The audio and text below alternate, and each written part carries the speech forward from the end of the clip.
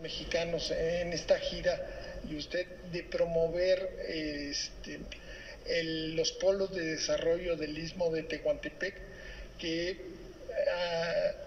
acabe de ser mención que el Banco Interamericano de Desarrollo dio un crédito de 2.800 millones de dólares para que se reubiquen ahí en lo que le llaman el near shoring y que pues eh, había, haya un crecimiento regional y, y, no tengamos que depender de China y de las empresas este, asiáticas.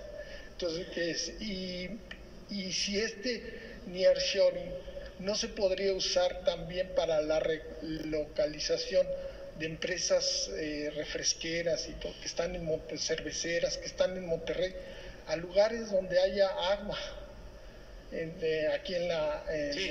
en la ciudad, bueno, digo, en, en la República Mexicana, como se hizo como Constellation.